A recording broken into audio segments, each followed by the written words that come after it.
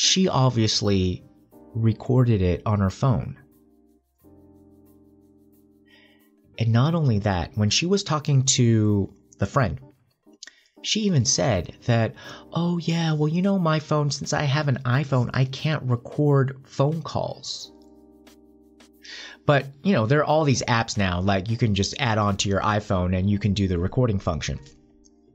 And for her to be recording it and then even saying that she can't record while she's having this kind of a conversation, totally guilty. Then, if you look at her word structure, like, because they're trying to, they're, you know, these guys were trying to figure out, you know, the, when stuff is not adding up, you can hear it in the voices of the, the two guys, and you know, she's saying like, "Oh, I think it got planned."